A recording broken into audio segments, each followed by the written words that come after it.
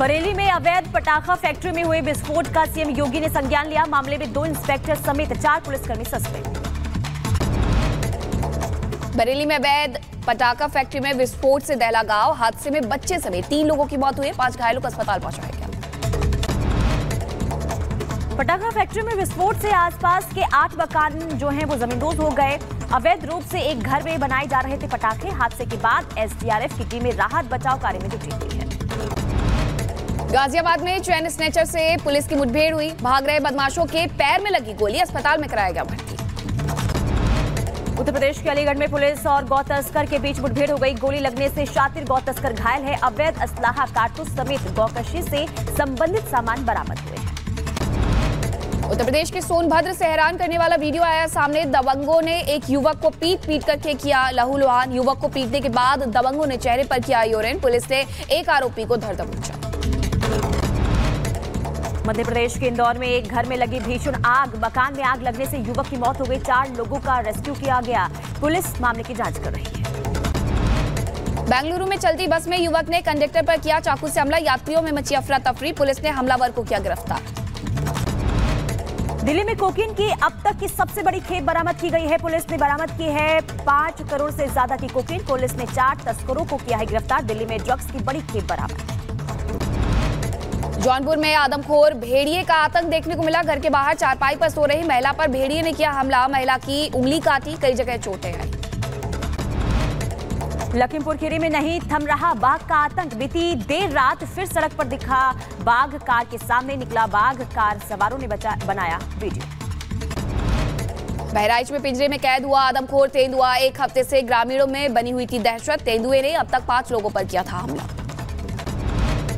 दिल्ली में अपराधियों के हौसले बुलंद हैं। नरेला इलाके में की ताबड़तोड़ फायरिंग। सीसीटीवी कैमरे में हमलावर कैद हुए हैं। तलाश में जुटी है पुलिस।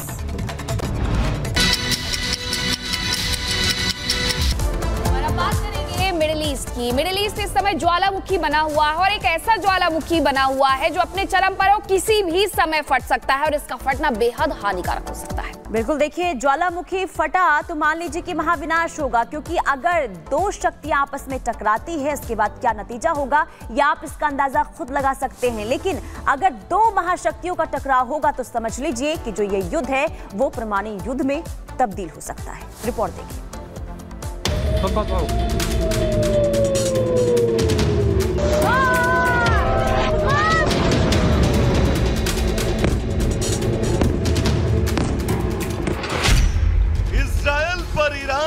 बम वर्षा।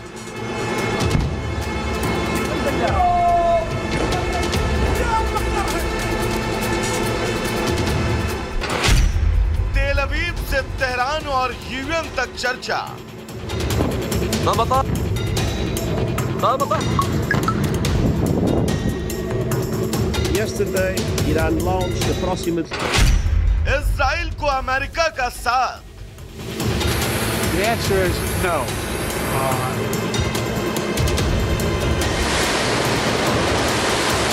Right now.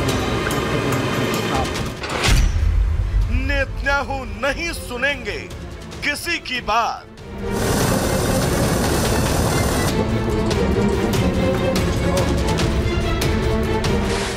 आतंक के खिलाफ इसराइल की जंग अब ऐसे मोड़ पर आ गई है, जहाँ से विश्व युद्ध की शुरुआत सिर्फ़ एक नाजुक डोर पर टिकी है।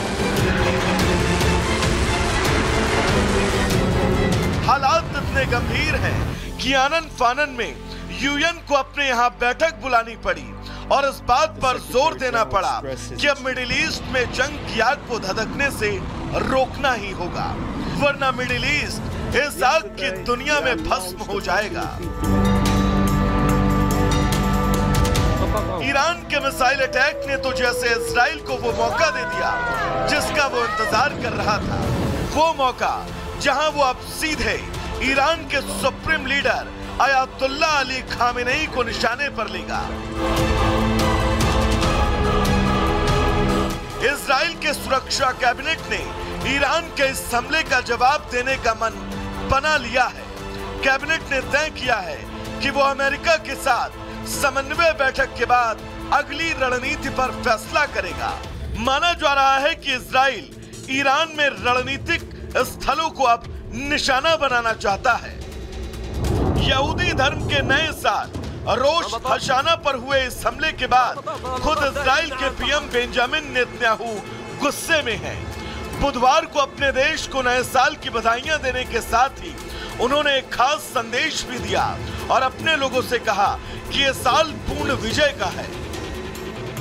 अब इजराइल की धमकी के बाद ईरान के सुप्रीम लीडर भी अपनी ताकत दिखाने की तैयारी कर रहे हैं, ताकि कोई ये ना समझे कि वो इसराइली हमले से डर कर किसी बंकर में छिपे हैं। बताया जा रहा है कि ईरान के सुप्रीम लीडर खुद जुमे के दिन होने वाली नमाज़ की अगुवाई करेंगे। अब मिडिल ईस्ट में जंग धधकती आग पर रूस ने मिडिल ईस्ट की स्थिति को लेकर चिंता जताई। ईरान के हमले के बाद क्रेमलिन के प्रवक्ता दमित्री पेशको ने इसराइल की निंदा की और कहा कि मिडिल ईस्ट में हालात अब लंबे समय से आशंकित क्षेत्रीय युद्ध के करीब पहुँच गया है। ईरान के हमले के बाद इसराइल ने पलटवार करने का फैसला किया। और ये पलटवार ईरान के लिए घातक भी हो सकता है। खासकर नसरल्लाह की मौत के बाद ईरान के सुप्रीम लीडर खामिनेई इसराइल की ताकत समझ चुके हैं। Bureau report Republic Bharat.